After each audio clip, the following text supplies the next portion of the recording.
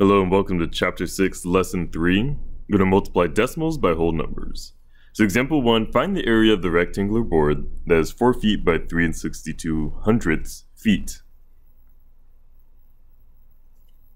So 4 times 360 or 3 and 62 hundredths means we're going to add this together 4 times.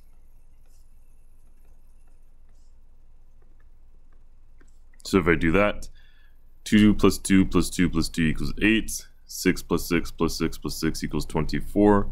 2 plus 3 plus 3 plus 3 plus 3 is going to be 14. So we get 14 48 hundredths. So this is one of the ways to check our work. Another way is to multiply is with whole numbers, then count the decimal places. So I know in adding and subtracting decimals, we had to line up the decimal places. When we multiply, it's going to be a little bit different. So we're going to do this just by multiplying first. 2 times 4 equals 8. 4 times 6 equals 24. 4 times 3 equals 12 plus 2 is 14. But if you notice, there are one, there's two numbers, two places to the right of the decimal.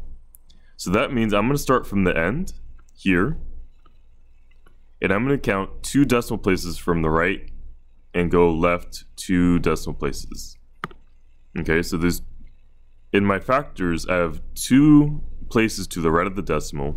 So as my product, I'm going to move the decimal place twice to the left. And my answer is the same as repeated addition, so the answer is reasonable. So we have 3 times 96 hundredths. So we have to estimate 3 times 1. So that's getting, so our answer should be close to 3. So we're going to multiply as we do with whole numbers. So we have 3 times 6 is going to be 18. 3 times 9 equals 27, plus 1 equals 28. 3 times 0 equals 0, and then plus 2. So we have 2 and 88 hundredths. And how do I know that? Is if I look here, here's the decimal place. I have two numbers, or two places to the right. So I'm going to move my decimal two places here to the left. One, two.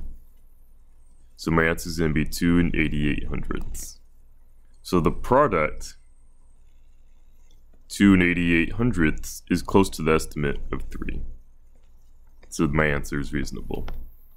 So go ahead and try the guided practice. So we first we have 6 times 5 equals 30.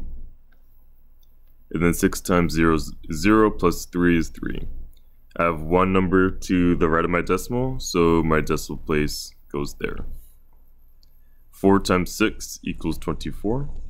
4 times 2 equals 8, plus 2 equals 10. And I have one decimal place here, so my decimal place is going to move one place in my product. But that is the end of the notes, so that's the end of the video. So thank you for watching.